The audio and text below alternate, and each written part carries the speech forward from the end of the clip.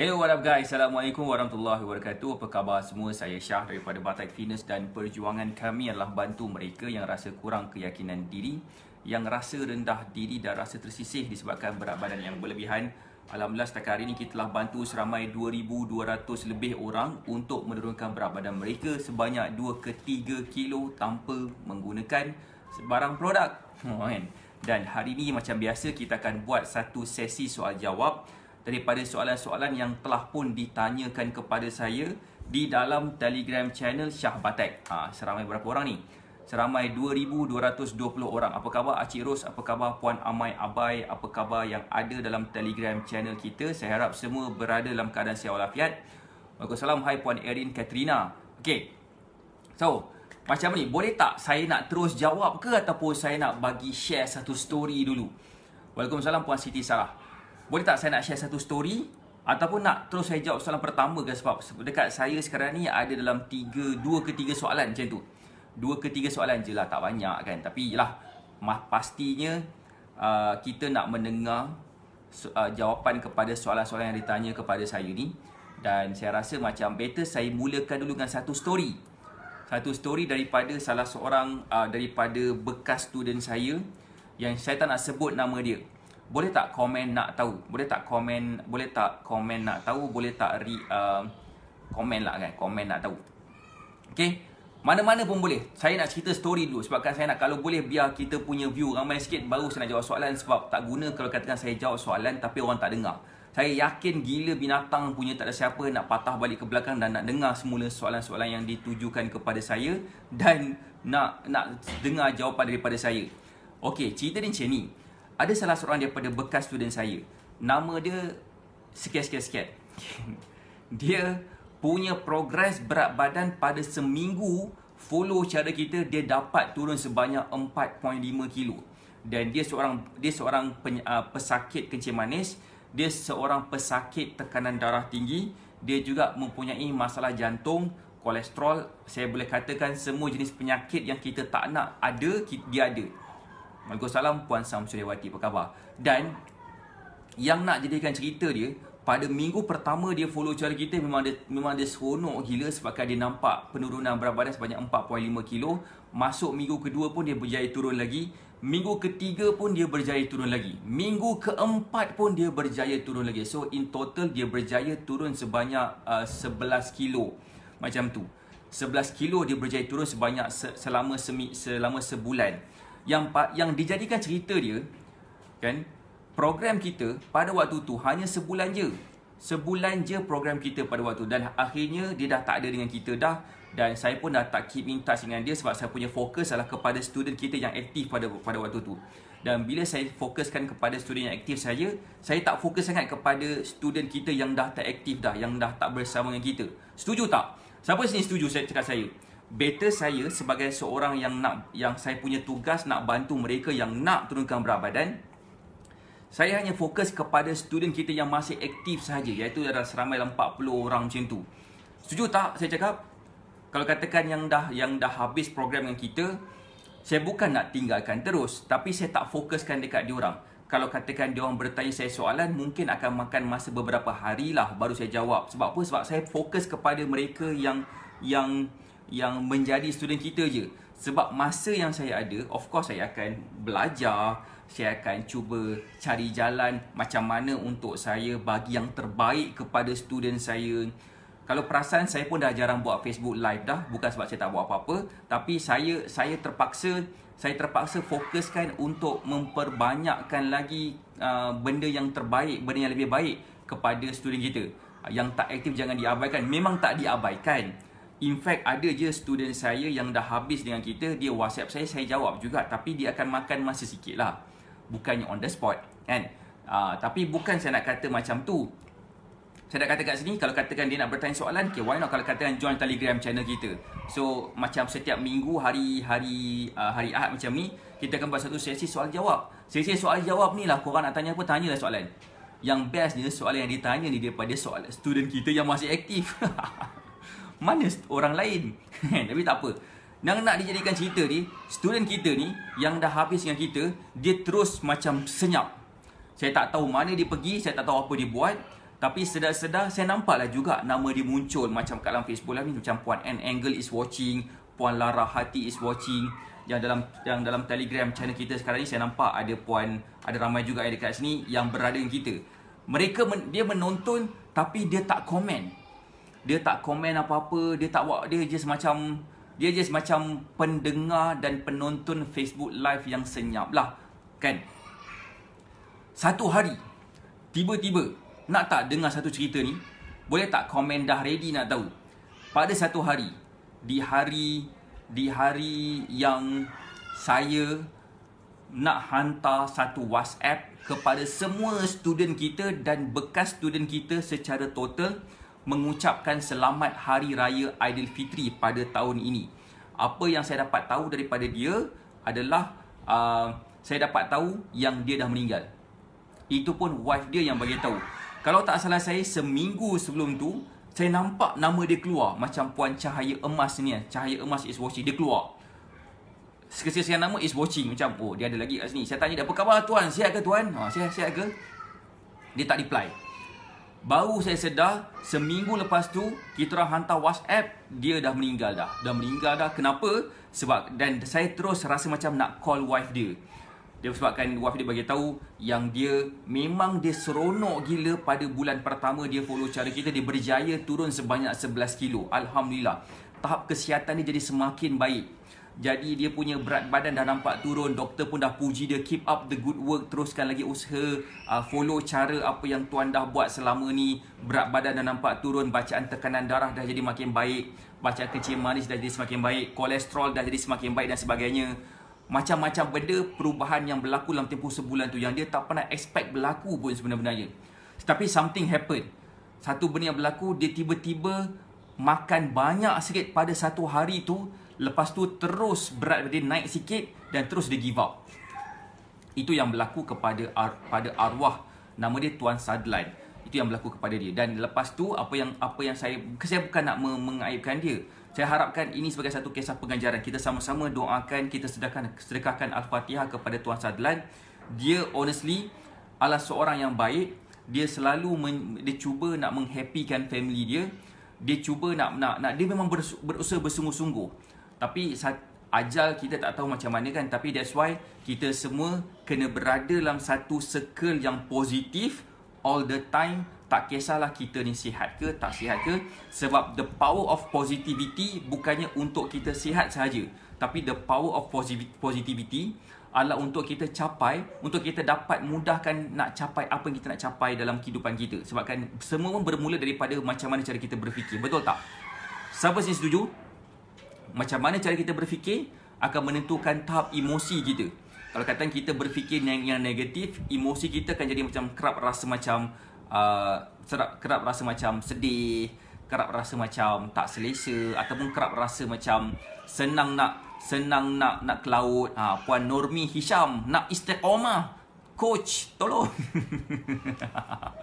Assalamualaikum Puan Normi Hisham. Macam ni, saya akan letakkan satu link Telegram channel dalam Facebook Live ni. Okay, nanti join Telegram channel kita. Kita selalu sangat buat event-event macam Facebook Live. Kita selalu macam saya cuba nak reach to your to to more people supaya saya dapat reach out orang-orang yang sedang struggle nak turunkan berat badan macam sekarang ni. So maksud saya saya bukan cakap suruh join saya tidak. Tak nak join saya tak apa. Mungkin muka saya tak cukup handsome. Korang boleh join mana-mana mana-mana coach pun. Yang paling penting sekali lah kita jangan keluar daripada circle yang positif. Tak kisahlah siapa circle positif kita.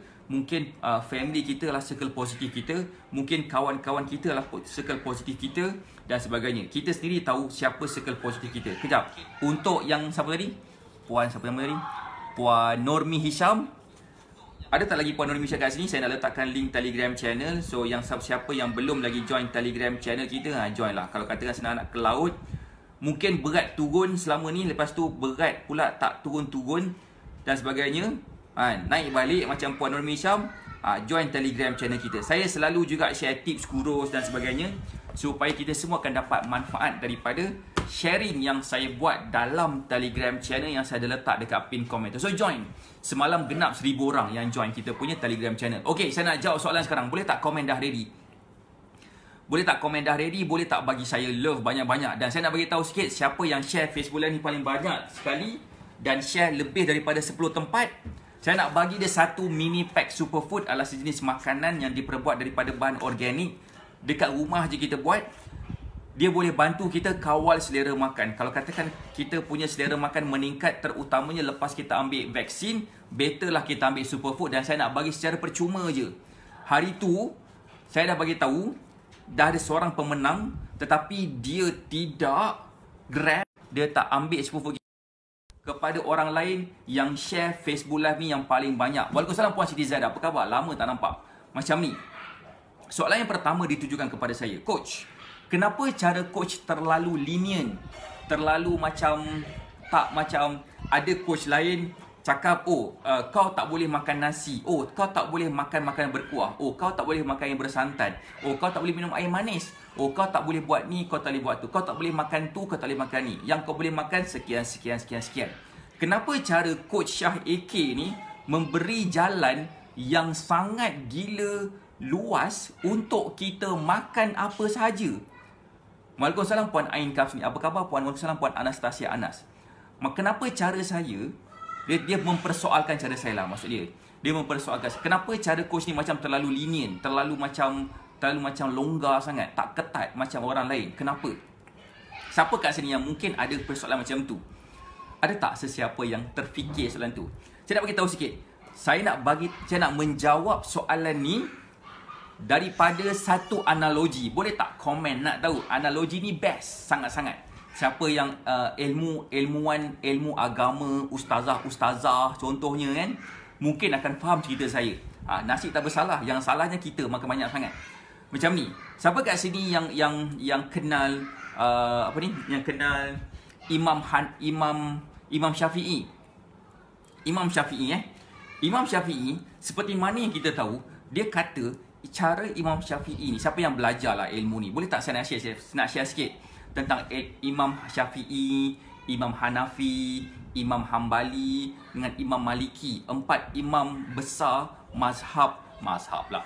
Uh, empat imam besar dalam Ahlus Sunnah wal Jamaah. Dah apa kena mengena pula dengan dengan kurus ni. Saya berpegang kepada satu mazhab, mazhab dia adalah mazhab fat loss.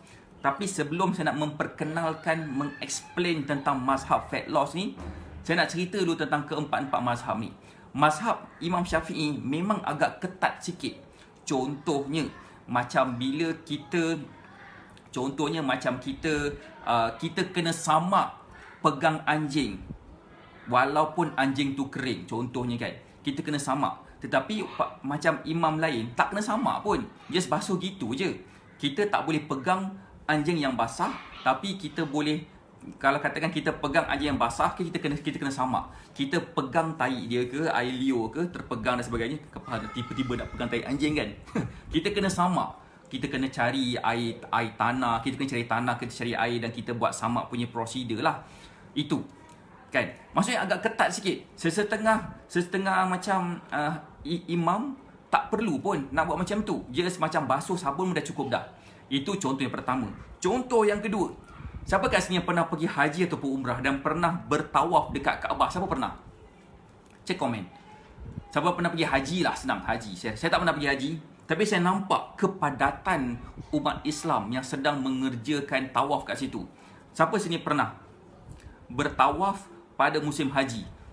Ada tak sesiapa haji atau hajah kat sini? Eh, komen lah sikit. Alamak, tak komen. Hai Puan Ira. Pernah kata Puan Nur Asmah Mak Yudin Tahniah saya memang berhajat sangat nak ke sana tolong doakan saya dan family dapat ke sana tahun depan eh tak apa kisah macam ni kita Imam Syafi'i kita tak boleh pegang tangan isteri kita ataupun suami kita dalam keadaan kita berwudu kita akan batal kan Waalaikumsalam Kak Zahra apa khabar kita akan batal air semayang kan tak pernah juga tak apa. Kita siapa yang tak pernah saya doakan akan dapat pergi tahun depan 2022 siapa yang siapa yang dah pernah saya doakan supaya dapat juga pergi lagi tahun depan.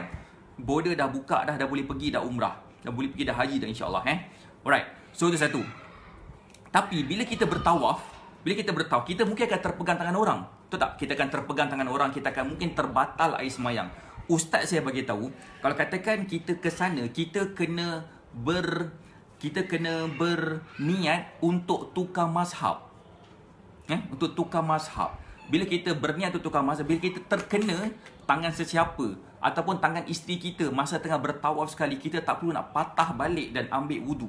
Sebabkan padat sangat orang kat situ dan menyebabkan kita susah sikit nak melakukan tawaf balik. Especially kalau katakan kalau katakan orang tu dia macam dia macam uh, orang tu berumur sikit. Betul tak? Kena kena tuk, berniat uh, ber, berniat tukar mazhab. Allah. Kenapa kena niat tukar mazhab? Stick to the stick to the mazhab yang kita kita ni je lah. Sebab cara Imam Syafi'i dia macam tak nak bila kita tersentuh kemudian tiba-tiba ada nafsu syahwat pula. Kemudian terus tak jadi. Terus, terus terbatal. Ha. tak ikut mazhab maliki tak susah sangat kan? Ha, tu, tu kata tu kata Cik Nak kan ha, so faham tak maksud saya? Cara saya cara saya saya suka bermain-main di tebing yang senang kita terjatuh. Saya nak lukis sikit lah senang faham. Saya nak lukis sikit satu satu gambaran. Boleh tak? Siapa nak tengok saya saya punya lukisan?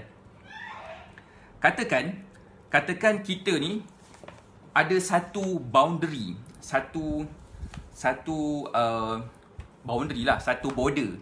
Katakan ini border kita. Border yang merah ni nampak bagi saya masa sekejap saya nak tukar wifi banyak pula dia punya cengkadak eh? right macam ni. Katakan saya saya buat macam ni satu satu border. Border kat sini dia akan menjadikan kita gemuk. Sekejap, sorry. Border kat sini dia akan menjadikan kita gemuk. Border kat sini akan menjadikan kita kurus. Boleh faham tak? Senang nampak kan? Senang nampak sangat. So macam ni.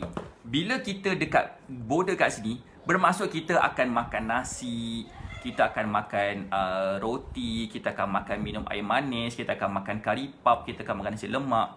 Semua dah hujung-hujung sini hujung-hujung sini je kalau kita makan lebih sikit dah jatuh ke sini. Eh silap terbalik. Terbalik tu Okay. Katakan, cara saya, kita masih lagi boleh makan nasi lemak. Alhamdulillah Puan Normi Syam, welcome kepada uh, welcome dalam Telegram channel kita. Kata kita makan nasi lemak, kita kat sini. Kita makan coklat, kita minum air manis, kita makan nasi, kita makan segala benda kat sini. Kita dekat hujung-hujung je lagi. Kalau kita makan lebih sikit, dah terlanjur ke bawah. Masuk ke dalam kancah kegemukan. Siapa sini faham?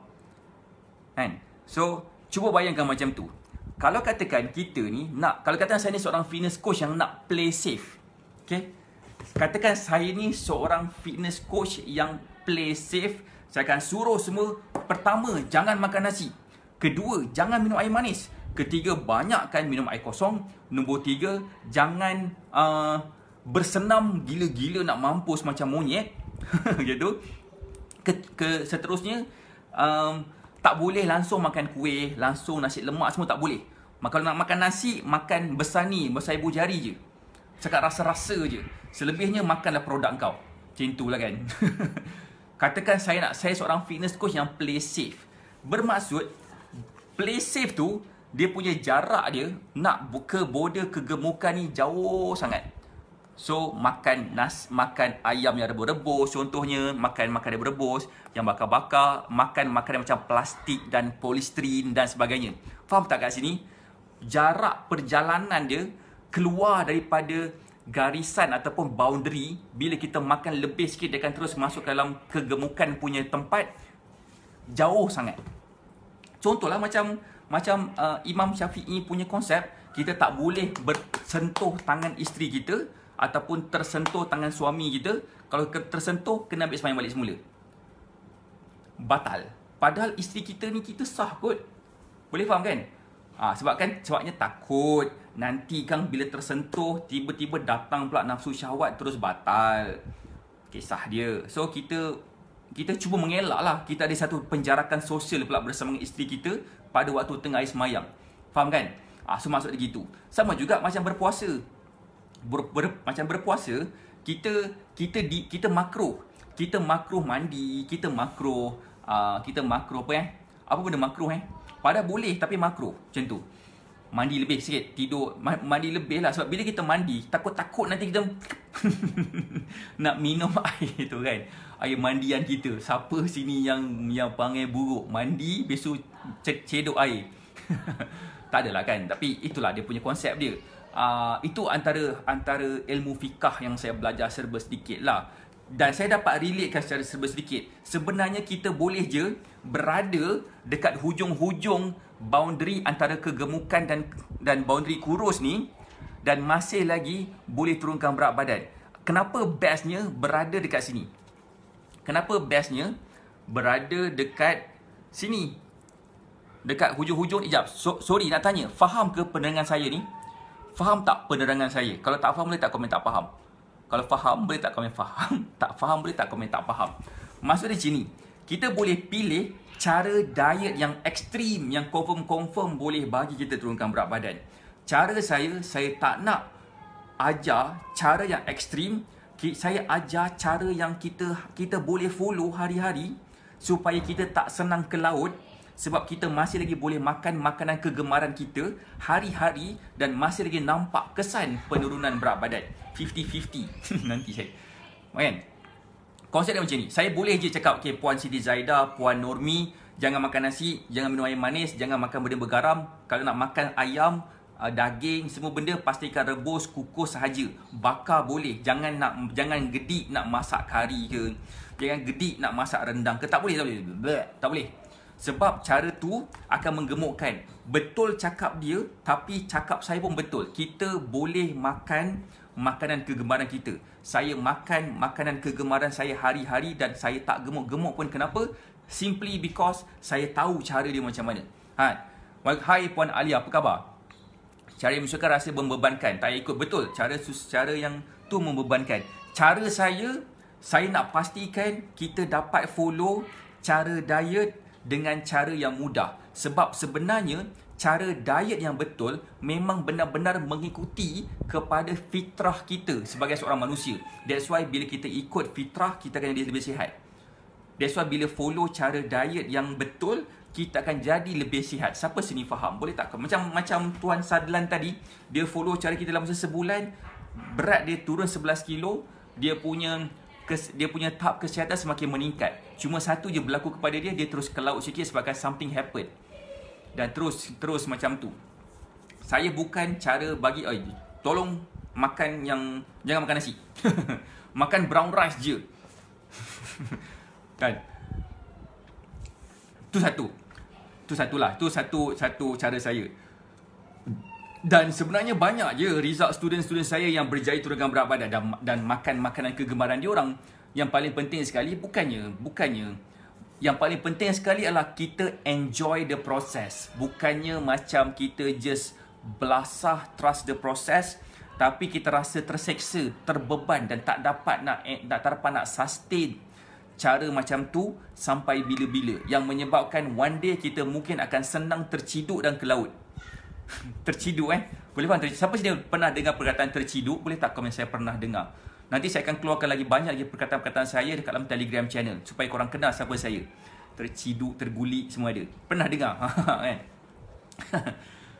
so, itu satu. Itu jawapan kepada soalan yang pertama. Kenapa cara saya macam tak terlalu uh, macam kenapa cara saya macam macam ni sangat macam uh, lenient sangat sebab saya tidak play safe sebab saya tahu di mana boundary kita yang mana bila kita makan lebih sikit berat kita akan naik.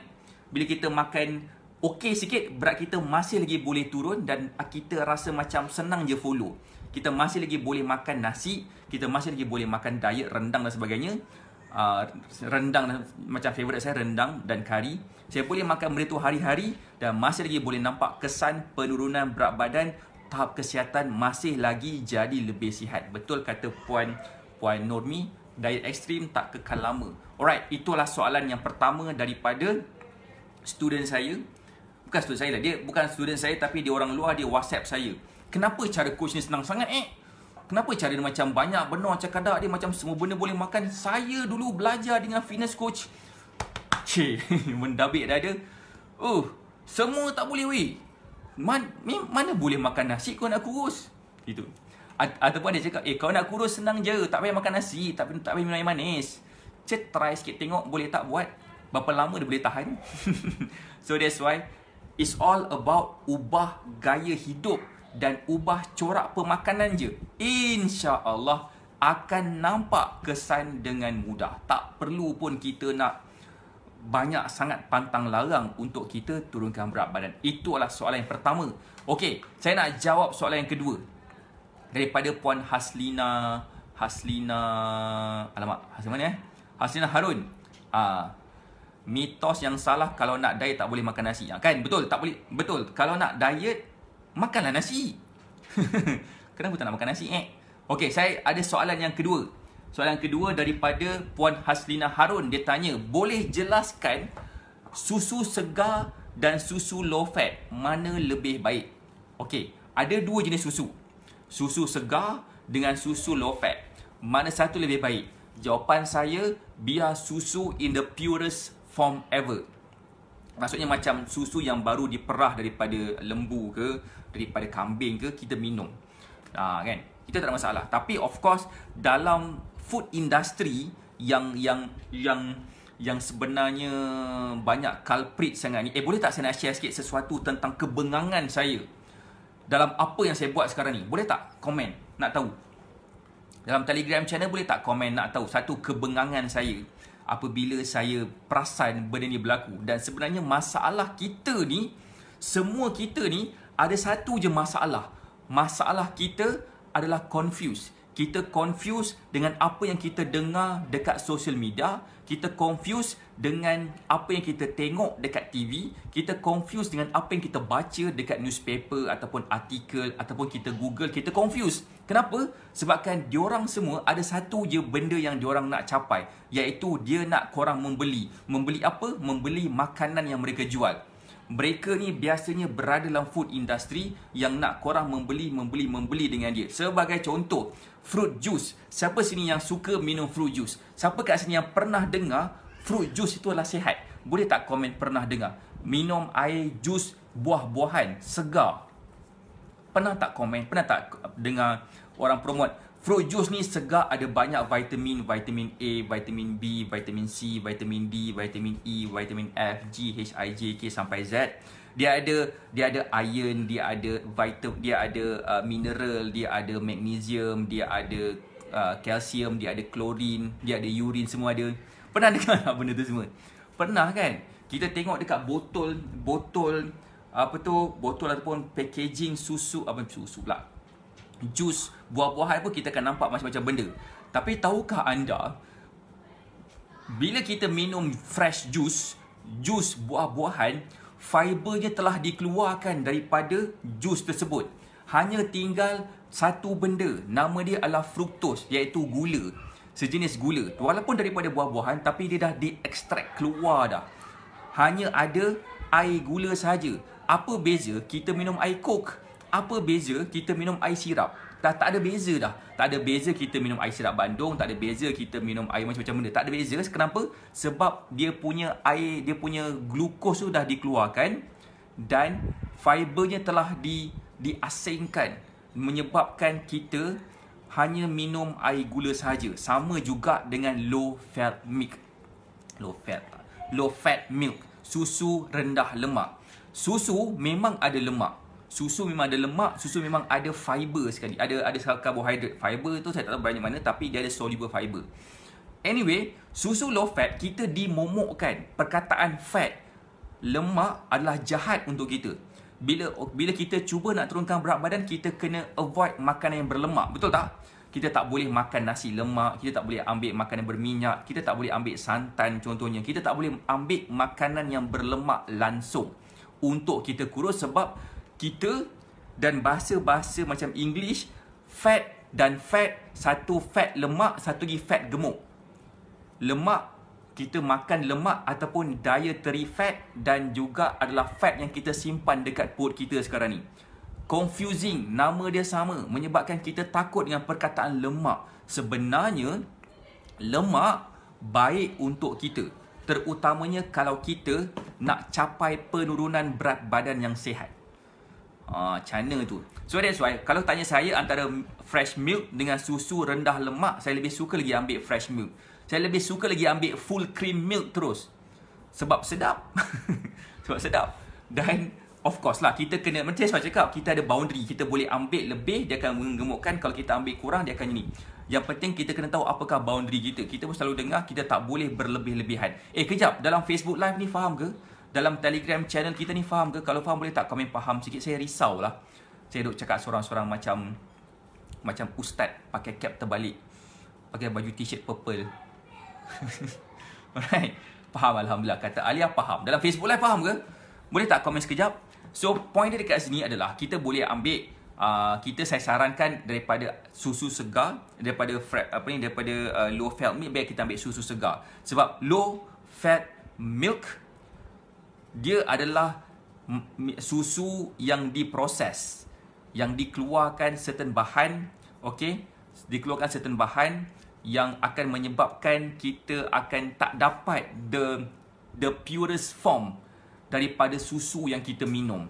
Dan better kita minum susu yang ada the the of course the best susu untuk manusia adalah susu ibu lah. Dah siapa pula jual susu mak susu susu perempuan tak siapa yang jual kan? Kalau ada saya tak tahu siapa. Tapi the yang paling hampir sekali dengan susu ibu adalah susu kambing. Susu kambing that's why dia lebih macam lebih ke depan sikit. Cuma susu kambing ni satu masalah dia bila kita beli dekat kedai ataupun apa untuk jadikan susu tu boleh tahan lama dia akan campurkan beberapa bahan-bahan lah. Bahan untuk bagi susu tu tahan lama.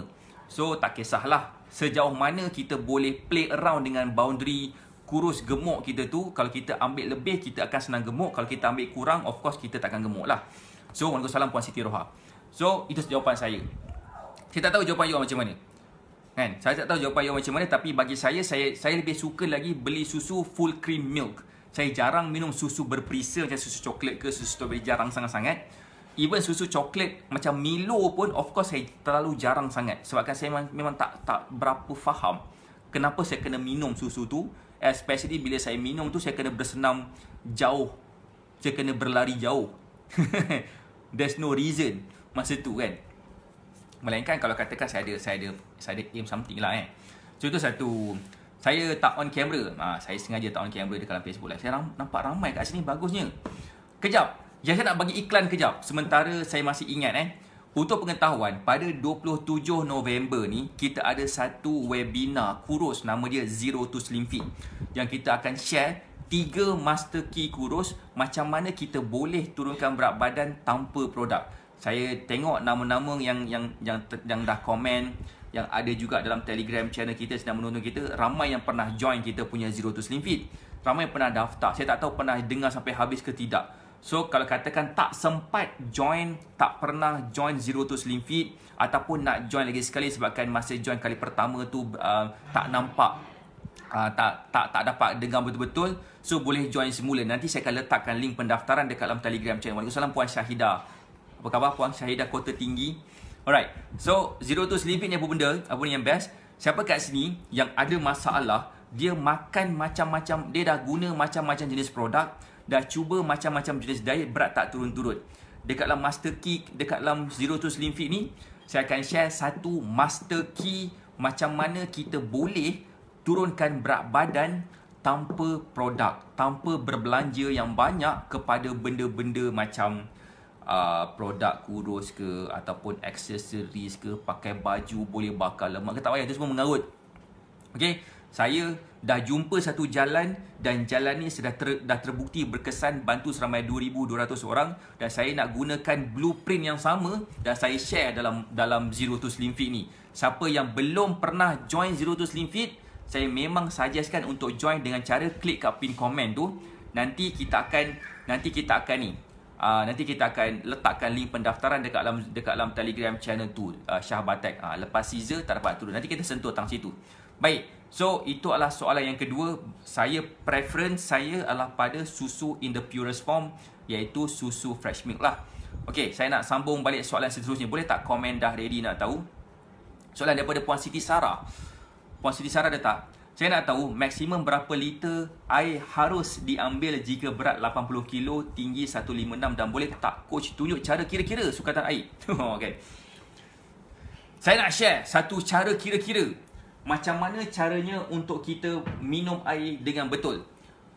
Ha, kan? Siapa kat sini yang ada soalan sama? Berapa banyak? Berapa liter air kita kena minum eh? Saya kena minum air 1 liter ke 2 liter ke? Ada orang cakap kena minum sampai 10 liter sehari. Minum 10 liter pula dengan cerita macam ada masalah overhydration, overhydration pula. Okey, jawapan dia bukan pada berat badan kita. Bukan. Saya nak bagi contoh sikit boleh tak? Saya nak bagi satu contoh. Saya nak bagi satu story sikit. Ha, kan? Story dia macam ni. Saya, saya dulu pada waktu saya mula-mula uh, pada tahun dalam 2008, 2009 macam tu, okey, saya kerap kerja dekat luar. Kalau siapa yang pernah kenal saya dulu, muka saya memang hitam legam sikit. Nanti saya akan upload satu gambar dekat dalam face dekat dalam Facebook page saya macam mana muka saya masa dia hitam legam. hashtag sedih nama dia kan. Jangan hashtag jangan kau tak kenal aku. Okay. Masa tu saya kena minum air banyak gila. Banyak gila saya kena minum air. Kenapa? Sebab saya berada dekat luar. Saya terdedah dengan cahaya matahari secara direct.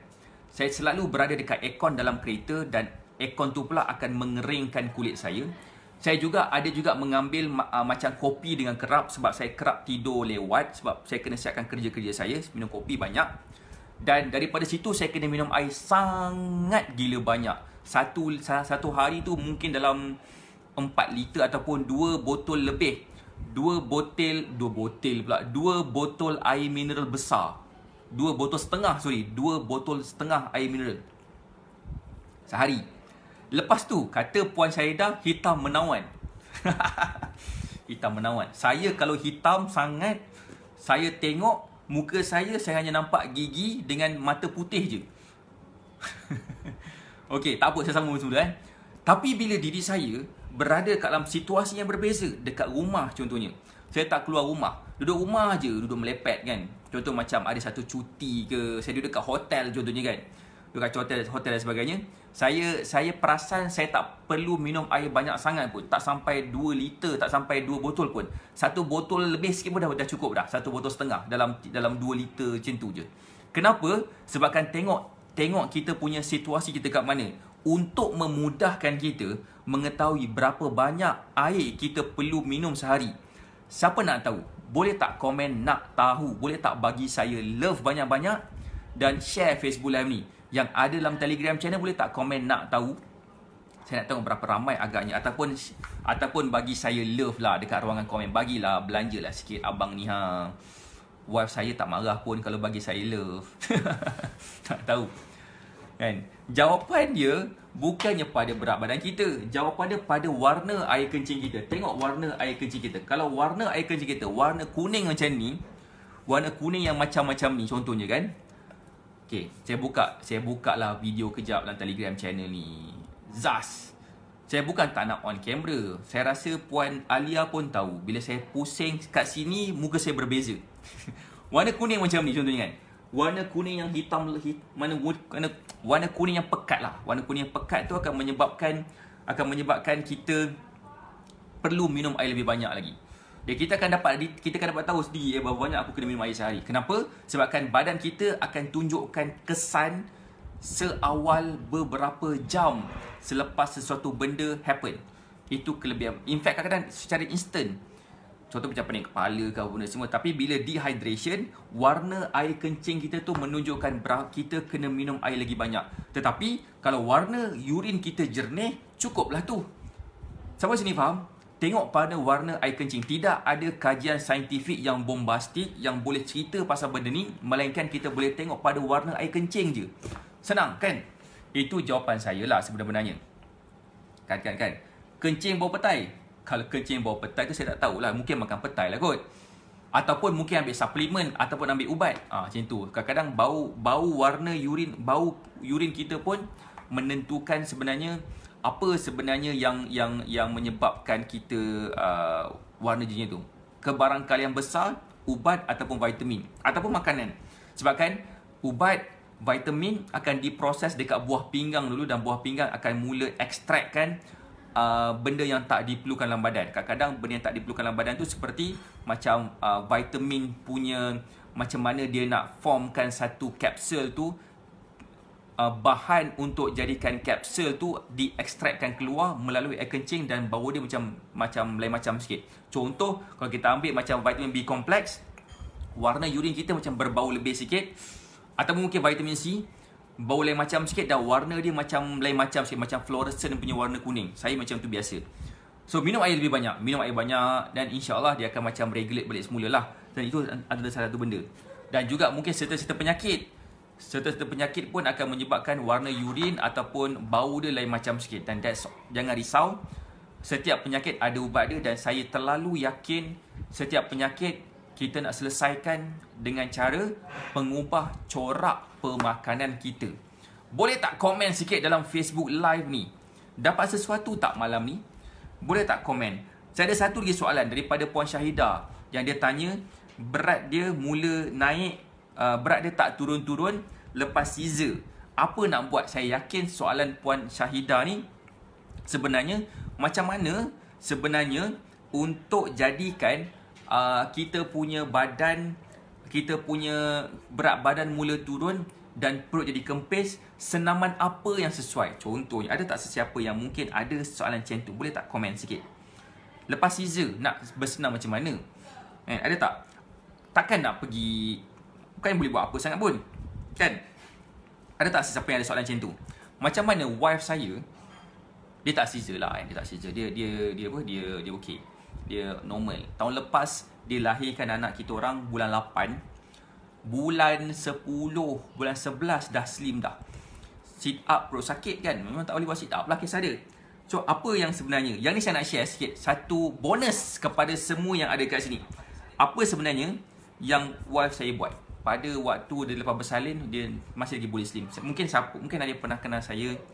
Mungkin ada yang pernah tengok wife saya dekat, dekat dalam Facebook live ni juga. Dekat dalam Facebook juga. Okay um, Puan Fadila pun lepas operate berat badan naik Macam ni. The only way untuk kita nampak penurunan berat badan Dan jadi lebih slim Adalah dengan cara mengubah corak pemakanan. Lain orang lain cara dia. Kalau tak boleh bersenam tak boleh sit up jangan gedik nak bersenam sampai dia boleh menyakitkan kita punya badan senaman yang salah akan menyebabkan kita rasa sakit. So that's why saya tak fokus pun kepada senaman. Sebab saya tahu masalah terbesar student saya bukan bersenam. Masalah terbesar student saya adalah corak pemakanan yang salah. Lepas tu korang buatlah senaman apa benda pun yang korang suka buat. InsyaAllah akan dapat turun. Contohnya, kita perasan tak bila bila macam bila wife kita ke ataupun uh, diri sendiri ke kawan-kawan kita ke dah dah bersalin dan berada dalam keadaan pantang pernah tak tengok apa yang dia makan? Dan lepas tu nampaklah sikit badan dia cepat berpeluh contohnya dia rasa macam dalam rasa panas. Perasan tak? Contoh macam makan makanan black pepper makan macam ada high protein food uh, contohnya macam tak tak makan cili tapi macam itulah kan because makanan yang akan memberikan kesan macam tu makanan yang mengandungi thermogenic effect yang tinggi sebab makanan itu yang akan membantu mengeluarkan lemak. Saya perasan satu benda lagi, kalau katakan seseorang itu memang slim dan dia dan dia dan dia pregnant, dia senang nak buang lemak tu sebab lemak tu macam macam belum lagi sebati dengan badan dia. Dan that's why pada waktu uh, pada waktu dalam pantang tu pantang betul-betul especially jaga makanan. Kedua, jaga emosi. Okay, emosi tu adalah satu benda yang penting juga untuk kita jaga sebab emosi tu juga akan membentukkan lemak dekat kawasan-kawasan tertentu. Saya tak nak cerita lebih lanjut kat sini, tapi sebenarnya bila kita jaga makan, insya-Allah badan kita memang nak sangat keluarkan lemak dalam badan kita. Itu yang menyebabkan badan kita nampak lebih slim dan berat badan kita mula turun. Sebab badan kita tak perlu pun badan kita kita bukanlah ikan duyung. kita bukan ikan ke, kita bukanlah bola ke yang yang kena mempunyai perut yang besar untuk kita bergerak. Kalau kita fikir secara logik, kita ni berjalan sambil berdiri. Betul kan? Kita berjalan sambil berdiri dan apa ni the center of gravity kita berada dekat tengah-tengah perut kita. Kalau katakan perut kita lebar, macam mana kita nak bawa badan kita? So that's why memang kita punya badan sepatutnya secara secara secara naluri dia secara natural dia itu saya secara natural memang dia akan menyebabkan badan kita akan jadi slim dan tegap tapi dengan syarat kita kena jaga makan mengikut kepada natural food yang kita kena makan. So tak boleh ambil uh, fast food. Macam contohnya apa khabar? Assalamualaikum Puan Zawiyah Ismail. Lama tak nampak. Tak boleh ambil benda-benda yang diproses sangat. Itu yang menyebabkan kita susah nak turunkan berat badan. Siapa sini faham? Boleh tak komen faham? Boleh tak bagi saya love banyak-banyak dan share Facebook live ni? Dapat sesuatu tak? Yang ada dalam Facebook live ni tolong kat tolonglah terpulang. Kalau nak dapatkan lebih banyak lagi information klik kat pin komen join telegram channel Syah Batek dan malam nanti saya akan letakkan satu link pendaftaran Zero to Slim Fit yang mana saya akan share master key kurus yang mana kita boleh turunkan berat badan tanpa produk. insya-Allah uh, bagi saya masa dalam dalam 5 minit macam tu kejap lagi akan keluarlah apa tu um, uh, link pendaftaran tu kita akan buat pada 27 November 2021 pada jam 2 petang melalui daripada uh, kita akan buat melalui platform Zoom. Alright, saya rasa itu je daripada saya. Saya doakan semua sihat dan berjaya. Assalamualaikum warahmatullahi wabarakatuh. Bye.